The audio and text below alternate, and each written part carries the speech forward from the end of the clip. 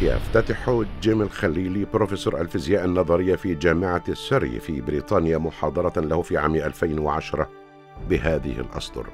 في غضون أقل من مئة عام قام العلم بمعجزة فقد بين لنا حقا من أين أتينا وغدا قادرا على أن يروي لنا بدقة كبيرة التاريخ الكامل للكون طوال أربعة عشر بليون عام من عمره وكشف لنا عن بداية الكون بانفتاق عظيم عظيم.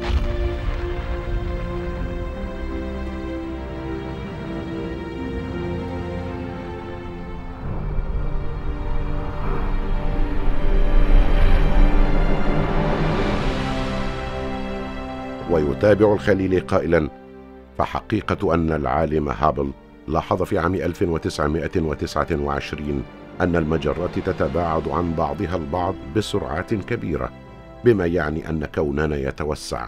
وحقيقة أن بنزياس وويلسون قد اكتشفا في عام 1965 بقايا الإشعاع الناتج عن الانفتاق العظيم وأن القمر المستكشف قد رصد وصور في عام 1989 تموجات داخل هذا الإشعاع الكوني.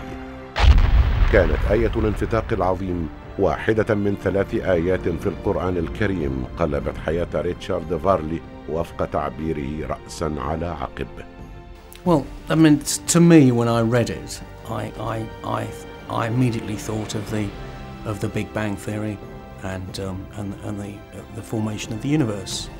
And I thought how strange it was to see something like that in, in a book which I'd, I'd bought with an open mind.